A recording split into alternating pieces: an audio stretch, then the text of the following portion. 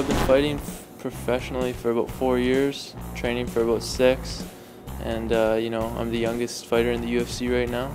All right, hard work, dedication, and what else? I mean, I've heard that it's like a dangerous sport. Is that true?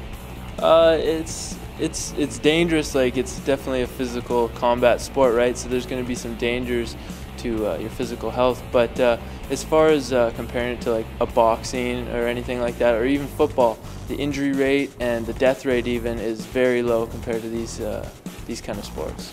Yeah, because people see the fighting, they think, oh my gosh, like because you guys are bloody, you guys are in all kinds of positions, and there's not there's it seems kind of free range, but it's not really like that the stats show that it's a very safe sport, and all the all the fighters for the most part are very professional, and uh, you know some of the best athletes in the world.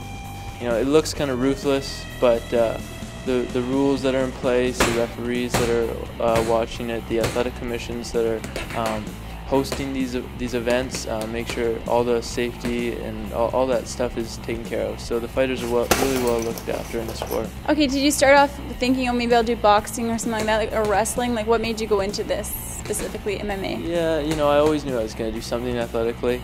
It just uh, this popped up that I got the opportunity to train at an MMA gym. I've always been a fan of MMA and boxing too, so it just happened that I started training at an MMA gym and I progressed to me fighting. And you're a Kelowna boy? Uh, yep. And I, I see like the town's kind of got your back here. Yeah, for sure. They've been really supportive and helping me a lot. And where do you hope to go from here?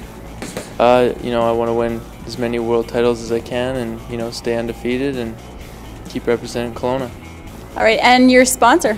My sponsor is SOB Clothing. And uh, yeah, they've been helping me a lot, so I just want to say, say thanks to them.